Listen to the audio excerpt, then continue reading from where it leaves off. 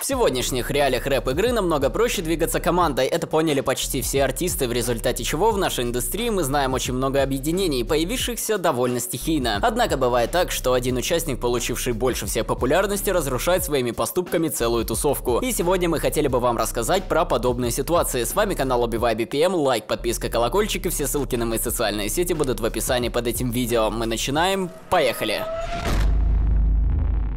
Начнем с Джизуса и его тусовки Connect. Connect это творческое объединение из Кирова, основателем которого является Угадай Кто. Основана она была 1 августа 2015 года. Ребята из этой тусовки получили первую популярность, когда вышел клип и трек Джизуса Ван Гог. Тогда на волне хайпа поднялся и Угадай Кто. 18 октября Угадай Кто сообщил в Инстаграм истории и ВКонтакте, что Джизус покидает состав объединения. 27 апреля на портале The Flow вышло большое интервью, в котором Угадай Кто дал пару комментариев по поводу создания и первоначального первоначального развития объединения. Вот так угадай кто описывает свое объединение. Начнем с Джизуса. Сильная личность, он быстро развивается как в духовном плане, так и в музыкальном, не лентяй. Игла занимается музыкой около 10 лет, начинал с правого рэпа, у него был ник Сугроб. Я уважаю его взгляды, он не боится высказываться о политике. Когда это происходит в треках, интересно это подает. У него есть трек «Автомат» про Октябрьский путь 1993 года. Он хотел показать прошлое, настоящее и, скорее всего, будущее нашей страны. Послушай и поймешь, почему я его считаю одним из главных поэтов сейчас. Крис Дайм. Нравится его подход к музыке, качество звучания. Его музыка это западный уровень. Фрешман 2020-го. Джесби. Харизматичный, с красивым голосом, все простенько и со вкусом. Хочет делать поп-музыку и идти в массы. Это не просто музыкант, это ходячая звезда. Диджей Крас. Это наш диджей. Ждет большое будущее в том, чем он занимается. Является неотъемлемой частью моих выступлений. Артем Капитов. Наш манагер и моя правая рука. Сначала я выбираю стратегию, по которой мы будем двигаться, потом Артем доводит дело до финала. Очень ответственный и трудолюбивый человек, живет в Нижнем Новгороде. Шуля, графический дизайнер, годами вырабатывал свой стиль, и отчасти его работы мрачные, да и сам по себе он закрытый человек. Из Кирова переехал в Питер. После ухода Джизуса об объединении было мало что слышно, но недавно Влад порадовал фанатов этой тусовки. В ноябре 2019 года в сторис Кировского объединения появилась фотография участников. Среди них можно увидеть и рэпера. Или прочитать ник э, собака Джизус на фото. Подпись гласит «Воссоединение». Часто Джизус Джизуса сравнивают с фараоном, в каком-то плане они действительно похожи. Да-да, мы говорим про ситуацию вокруг объединения Dead Dynasty. В конце 18 года стало известно, что команду фараона ДД покинули почти все его участники, с учетом того, что до этого момента из объединения ушли Jeembo, Punk, Acid Drop King и другие. Сначала об этом сообщил Сторис Висно, клипмейкер и режиссер многих ярких клипов фараона. Также свой уход подтвердил Отис, давний друг фараона, который был участником еще первой группы Глеба Greenhouse. По его словам, он перестал верить Глебу Глебу, а сама династия сейчас это лишь сам фараон. А следом за ним из состава вышли битмейкеры Frozen Gang Beats, продюсер Мип и рэпер Салуки. Портал Studio 21 выпустили интервью с рэпером Бульвар Депо, в котором он рассказал о причинах распада лейбла. Когда я увидел новость о том, что все ребята начали покидать объединение ДД, я станцевал танец. Наконец-то, чуваки просто реально из этого выросли, и те цели, которые они в итоге перед собой ставят сейчас, гораздо дальше, чем быть просто обслуживающим персоналом Глеба Фараоновича. Я думаю, это стало так, как только ДД Dynasty переименовали в Фараон The Dynasty. Справедливо, по-моему. Напомним также, что в свое время из объединения выходил и 39-й, который затем вернулся обратно. То же самое произошло и с Вишну. Единственный, кто остался верен Глебу до конца, это Многознал, ведь он никогда не покидал друга и всегда оставался в команде. Также неприятная ситуация произошла с исполнителем Ноа. Певец Ноа, бывший участник Dead Dynasty, покинувший объединение, сообщил, что с YouTube канала DD пропали все его клипы. Очень удивился, обнаружив, что на канале DD пропали все мои клипы клипы без предупреждения и конструктивного диалога. Могу лишь провести параллель с заурядной бытовой ситуацией, когда расстаешься со своей Буни на самой приятной ноте, оставляешь у нее ноутбук, а она со злостью удаляет на нем все важные файлы, потому что Зая мудак. Это просто смешно, ничуть не расстроился, перезалил все на новый канал и заодно внес небольшие правки. Написал Ноа в своем телеграм-канале. Также из объединения ушел и Лил Морти, который недавно выпустил свой релиз Лил Морти 2. Он написал коротко, я ливнул с ДД. Лил Морти человек, который сопровождает сопровождал фараона в его туре Ландали Стар и соавтор песни «Школа». У них также есть совместный клип «Глушитель». Иронично, что в свое время Морти выпустил альбом «Протеже», где практически все треки были один в один с треками Фары. Причины подобного поведения ребят из династии трудно угадать. Скорее, правда, как всегда, в том, что каждый человек стал чувствовать себя отдельным исполнителем, который меркнет на фоне суперзвезды фараона. Ребятам хотелось идти дальше, но их тормозило наличие огромной пропасти между ними и лидером объединения. Справедливо ли это? Этом спорно, ведь, например, Многознал не ушел из ДД и смог набрать ту популярность, какой сегодня не имеют многие, кто покинул команду. Альбом «Грук ветров» Максима собирает сегодня рекордные для него прослушивания, и на это никак не влияет наличие фараона, даже наоборот. Фара всячески помогает другу в продвижении. Конечно, нельзя отрицать и того факта, что некоторые просто увидели себя в другой команде, например, Джимбо, который ушел в БМ и которую он, кстати, недавно покинул. Если говорить про звезд, которые вышли на сцену недавно, то мы не можем не упомянуть Рокета и его тусовку Bound. Московское объединение Bound это один из ярких примеров того, как благодаря качественному материалу и правильному менеджменту можно добиться успеха и постепенно идти к своей цели. Rocket и Офми большие звезды отечественной индустрии. Если Рокет более сдержанный и серьезный, то Офми абсолютно безумец. Русский Янг Так со странными интонациями и абсурдными строчками. Вместе они записали проект Кэшемир 2, экспериментальный ядовитый трэп о том, что беспокоит молодых парней. Желание заработать на дорогой автомобиль, насмешки над правоохранительными органами, оделение и безразличие к происходящему вокруг.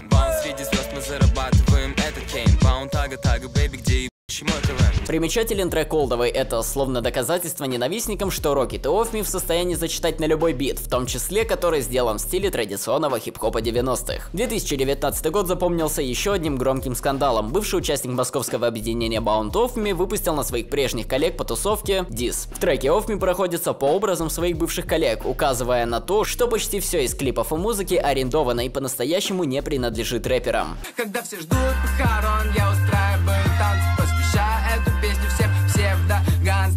Дис быстро вызвал ответную реакцию у Рокета, который захотел разобраться с бывшим коллегой в офлайн режиме, однако их встреча так и не состоялась. Ребята окончательно поссорились, и сегодня мы все реже и реже слышим слово Bound. Оно теряется в тени карьер исполнителей, которые оттуда вышли. В первую очередь, конечно, в тени Рокета, который недавно выпустил новый микстейп, залетевший в чарты iTunes. Если разрушается даже целая империя, чего уж говорить об объединении начинающих артистов. Под империей мы, конечно, имеем в виду империю Оксимирона, Booking Machine. Год назад Оксимирон объявил объявил об уходе с поста исполнительного директора лейбла Booking Machine. Он также не будет сотрудничать с БМ как артист. Об этом исполнитель сказал со сцены Booking Machine фестиваль. Любил и уважал Booking Machine. И сколько бы сил я не вложил в Booking Machine в последние 7 лет, все сложилось так,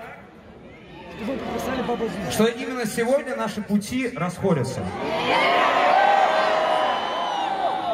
А уже в марте этого года стало известно о реструктуризации Booking машин. Его покинули Маркул, Томас Мраз, Джимбо и Твет, которых примерно в одно время истекли контракты с БМ. Все стали артистами объединения в 2017 году. Об этом сообщил Илья Мамай через паблик Booking машин ВКонтакте. Вот так выглядел пост. Сегодня хочу сообщить всем о важном решении, которое далось лично мне очень нелегко. Booking машин перестает быть творческим объединением и теперь концентрируется исключительно на организации концертов, туров и фестивалей. Так сложилось, что у большинства артистов участников нашего ростера закончились контракты с БМ в начале этого года, и чтобы артисты смогли дальше развиваться, так как им комфортно, они приняли решение не продлевать с нами сотрудничество. Речь о Джимбо, Твете, Томасе и Марке. Со всеми парнями у нас остаются теплые и уважительные отношения, просто пришло время двигаться дальше, и идея творческо-концертного объединения, с которым я жил все это время, и ради которого придумал и осуществил очень сложный проект Booking Machine Фестиваль, в данных реалиях не сработало и, видимо, уже не сработает. Вопреки распространенному мнению, что БМ как-то вливали, вливают на творчество артистов, хочу еще раз подчеркнуть, что все решения касательно своего музла артисты принимали сами. Мы могли лишь ассистировать парням в вопросах менеджмента и стратегического планирования. Сейчас вообще наблюдается общая тенденция и настроение в индустрии, когда артисты предпочитают создавать что-то новое, нежели чем быть частью какого-то объединения, пусть даже и близкого к им по духу. А на этом у нас все. Как вы думаете, виноваты ли лидеры объединений в том, что их тусовки распадаются? Пишите свои варианты в комментариях, нам будет интересно прочитать. Ставьте лайки и подписывайтесь на наш канал. Все ссылки на мои социальные сети будут в описании под этим видео. Вы были на канале Убиваю BPM, меня зовут Дмитрий Толщенов, всем пока!